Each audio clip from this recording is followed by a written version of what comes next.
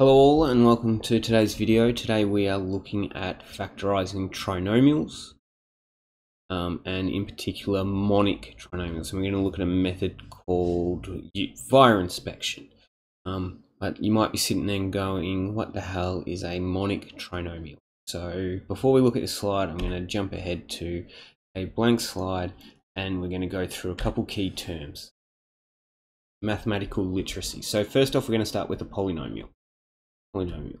What is a polynomial? Uh, you've seen a couple of them, the basic quadratics, the basic linear equation, but the most basic form of a polynomial is ax n plus bx 1 plus cx to the minus 2 plus dot dot dot dot dot and we keep going until we have fx2 squared plus um,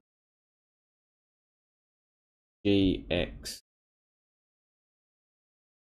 plus h. So what a polynomial is, is it's a collection of all these terms in increasing levels of power. So we have our first, our most basic, we have a constant. Then we have a term with x to the power of 1. Then we have a term with x to the power of 2. Then the next up from the polynomial, we would have e to the x power of 3. And it keeps going on and on to whatever order, we say polynomials have an order of whatever the power is here, the biggest power. Okay, so if this term here was a to the x to the 7, we'd say this is a seventh order polynomial because the largest the term with the largest x power, okay, is 7, so it's the seventh order polynomial. Okay, so what are we looking at? We were looking at trinomial. Okay? So a trinomial is a polynomial. Tri has, guess what, three terms. Okay, so we are generally looking at, and instead of using FGH, we are going, we generally have AX plus BX plus c, three terms, so we a tri. Okay, so we start with polynomial, we're now looking at a special case of that trinomial where we have three terms, and then we're going to look at monic trinomial. Oh, I can't say What does monic mean? Monic means that this first term right here is a 1. Okay, so it's going to be 1x plus something x plus c. Okay, and 1 we know from just basic algebra writing that we don't actually write the 1 there, so monic trinomials are going to be x squared plus b c. So it is a polynomial of order 2 square, and it's monic because just has a coefficient of. Let's go back slide. Hopefully that clarifies some terms. So below is a basic monic trinomial. It is a monic because the coefficient of x squared is 1. Okay, there's a 1 here, but we aren't actually writing the 1. And I fixed the eraser last slide, last video, they gave me a bunch of issues. Okay. We can factorize this monic trinomial using a method called inspection what we are always going to try and find, we need two numbers because we're taking this monic trinomial and we're going to factorize in the form of x plus something, and I'll call this e, x plus f. And we're going to try and find these two numbers e and f. Now these two numbers for a monic trinomial, it turns out, okay, are always when we multiply them together, e and f, okay, when we multiply them, those two numbers are always going to equal c. In this case, we're E times F will always equal to C, last term constant. Also, okay, those two same numbers, if we add them together, E plus F will always equal B. And what we're going to do is look at our monic trinomial and try and find these two numbers E and F by just looking at it, looking at it for inspection. What we're normally going to do is look at our constant term C and look at the factors of it. Okay, what are the two numbers that will multiply to give us C, and then we'll test if we can add them together to give us B. So let's have a look at this very first example here. and I'll write some stuff over here. So 6. How can we make 6? We can make that as 1 6. We can make it as 3 times 2. We can also, and this is really important, we need to remember negative factors. Have some problems that use this. 3 times negative 2. 6 is equal to 6 times negative 1. Okay? So just from 6, it's actually four combinations. E and F. These two, these two, these two, and these two. We need to look at, okay, which of those sets are also going to add together to give us B. So B in this case is 5. How can we make 5 from this? Well, 1 plus 6 is 7. That doesn't work. 3 plus 2 equals 5. So we can say straight away that x plus, we're going to use our first number, 3x plus 2. Our second number is the factorization of this monic trinomial. Now quickly we can double check by doing an expansion. So at x squared plus 2x plus 3 plus 6 equal to plus 5x plus 6. So yes, it works. Let's go on to the second one. And again, we're going to start with first. First we do this, then we do this. We get a whole bunch of list of C, and then we can try the second one. So factors of 2, okay? Well, 2 is equal to times 2, 2 is equal to negative 1 times negative 2. That's about it. It's going to be one of these two. So we look at these two. What do they add to give us this? Well, 1 plus 2 is positive 3. Doesn't work. Negative 1 plus negative 2 gives us negative 3. So that works. Okay. Negative 1 plus negative 2 equals negative. So that works. Those two combinations work for what we see and F.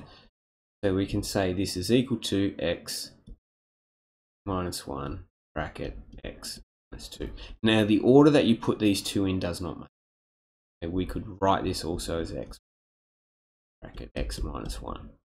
As long as you keep the signs together, that's fine. Either of these two are correct. Let's go on to this next one. Ooh, negative 16. So again, we're going to look, sorry, we're looking at our constant term. We're looking at this first. What two numbers can I multiply to give me negative 16? Negative 16 we could do negative 16 positive 1 we can also do 16 times negative 1 you're going to realize with negative constant terms there's going to be a whole lot of con combinations where you're switching the negative term. We can also do it equal to negative 8 times 2 we can do 2 times negative 8 we can have negative 4 times 4 and the other order version of that does not. That's the main ways we can make 16. So let's see which ones will add to give me my middle term. And of course, after you do this repetition, you get used to the pattern. You're not going to have to actually write out this whole list. You'll be doing it via inspection. You'll do it in your head. You'll go 16 and 1. Oh, there's no way I can use 16 and 1 to add together 6. 4 and 4, there's no way I can add together 4 to give me 6. So it's going to be 2 and 8. Yeah, 2 and 8, that I can make 6 from that. Which combination is it going to be? Well, I need to make negative 6, so it's going to be negative 8 plus 2. That gives me negative 6. Lovely. So these are my two numbers. Negative 8 and plus 2. So I'm going to go x minus 8. I have to use negative for that. x plus 2. Again, we could write that as x plus 2, x and switch the order as long in the sign. So that is factorizing a trinomial and a monic trinomial. That's what I want to clarify. We can only use this inspection method only for monic trinomials, only if this coefficient here is 1. It only works for that. If we have a different number there, we cannot use factorization by inspection. So that was from before. Okay.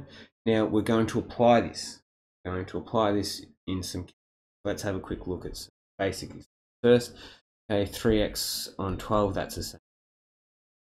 3 times 4 we can cancel our 3's so that is x 4 this one straight off the bat Okay, that and that cancel off, so we get equal to 3 on 9, which is third. Here, not quite as straightforward. We need to take out a factor on the top in our numerator, so we're going to do that. X, we can then cancel X left with equaling all over. So I said before, come back to here, this only works, factorizing this monic trinomial by inspection only works if our coefficient is 1. Remember from the previous video on 5b or 5a, before we even think of factorizing anything, there's a method we should use, and that's taking a common factor. We always look to take the common factor first, okay? Straight away here, you're like, oh, that's a trinomial. x squared minus 21x plus 36 trinomial inspection, but oh no, we have a problem. We have 3 here. What you should do when you're looking at all these problems, very first thing you should be thinking is, can I factorize this by just first taking out a factor, and we can take the 3 out. Minus 7 is 12. Okay? Now this 3 at the front, we can just leave it here. And now looking at this x squared minus 7 x plus 12, that's a monic trinomial, so we can try and factorize it by inspection. X, okay, two terms that multiply to give me 12, but add to be negative 7. The negative here is a hint that both of these are going to actually be negative numbers. The only way I can get a negative solution is add two negative numbers. So we can think, oh, 6, negative 6, negative 2, I can't make 7 with negative 3 and negative 4. Multiply together is 12, negative, show you negative 3 times 4 equals 12, negative 3 plus negative 4, 7, tick, tick, that works, so 3, 4. Up the top here, can I take out a common factor? First thing you should ask yourself, I can't. Down the bottom, can I take out a common factor? No, I can't. Then I go from there. Okay, the top is a monic trinomial. Can I use inspection? Let's have a go. We're going to go x, x, bracket, multiply to give me negative 27, add to give me negative 6. Okay, so let's maybe try negative 9 times positive 3 gives me negative 27 and we can go negative 9 plus positive 3 that gives me negative 6 all that works okay? So we can use those. So we had what we have? A minus 9 plus 3 all over x plus 3 and the bottom in this case is a hint like these problems are always going to work a certain way I've got an x plus 3 on top it's likely then I'm going to have an x plus 3 as my factor on the top and it just so happens we did so guess what? We go like that, and this is x9. And who would have thought this convoluted expression up here is actually the same as just x minus. Okay, let's have a look at this. What should we be doing first? Can I take out a common factor? Yes, I can in this case. Take out 2x squared minus 2x minus 15 all over, and on the bottom I can take out a 2 again, x squared minus 9. Okay. Go from here. Oh, look at that. We can cancel off our 2's. Okay. Let's look at the top. What do we have? We have a monic trinomial. So let's try and factorize it by section negative 15. So I'm thinking negative 5 times by positive 3 straight off the bat gives me negative 15, negative 5 plus 3 gives me 2, that's what I need. Tick, tick, those work. This turns into x minus 5x 3 all over x squared minus 9. You're like, oh, I can't more. Um, but if you've watched the other videos, what is this? What is this? It's two terms and it has a square. It's a difference of perfect squares. So I get x minus 5, x plus 3. And this difference of perfect squares, we remember if we have a squared minus b squared, I can write that as a minus b bracket a plus b. Okay, this 9 can be written as 3 squared instead. So this turns into x.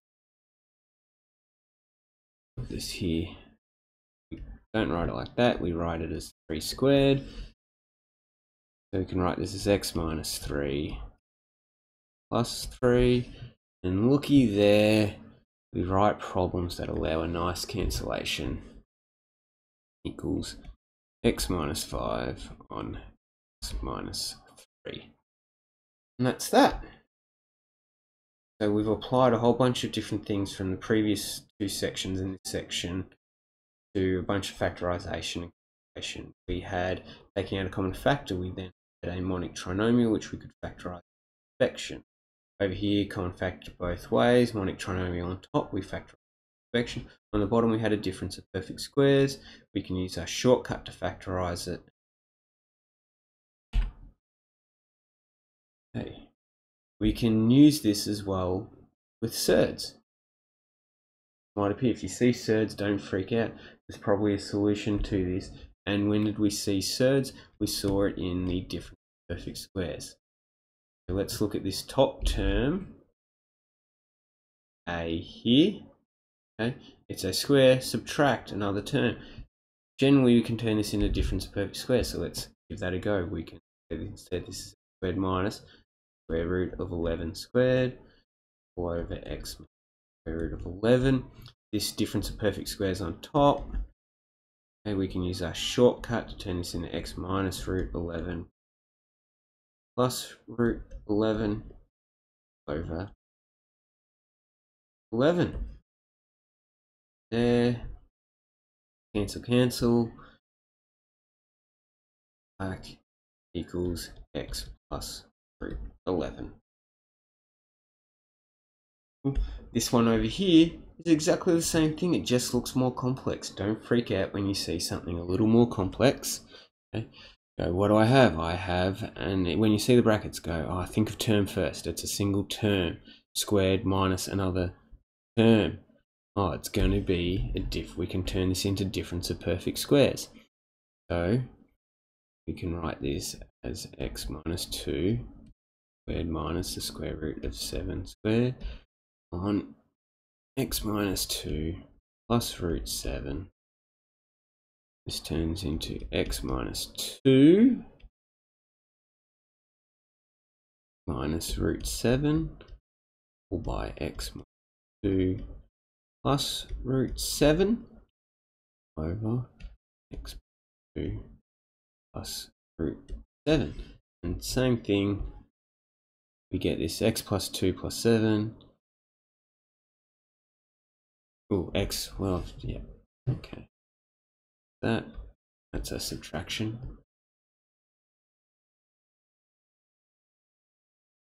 There we go.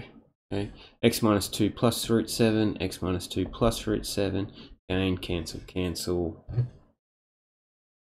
We are left with it equaling to x minus 2 minus root 7. So again, something that looks very complex, simplified to a much easier expression. Okay, so a quick review. There's four ways to factorize a there's going to be four ways to factorize a quadratic trinomial. I haven't told you about the other ones. Today we just looked at the inspection method. The big thing with the inspection method, we can only use it for a monic trinomial. Like I said, I can't say monic trinomial. So the coefficient of the x squared term can only be 1. If it's not one, what you should be looking at is can you take out the common factor. If you can't take out the common factor, then the methods I'm going to show you in the following sections will be what we use. Okay?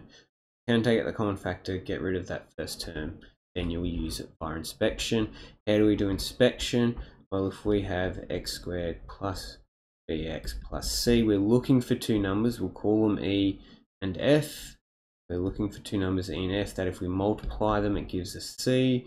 And if we add them, gives us b, and we can then factorize it by x plus x. Two magic numbers. find by just looking at the problem. Looking at the problem. And that is it for exercise C. If you have any questions, stick them on the Google Classroom or on the video uh, comments below or on Compass. Thank you.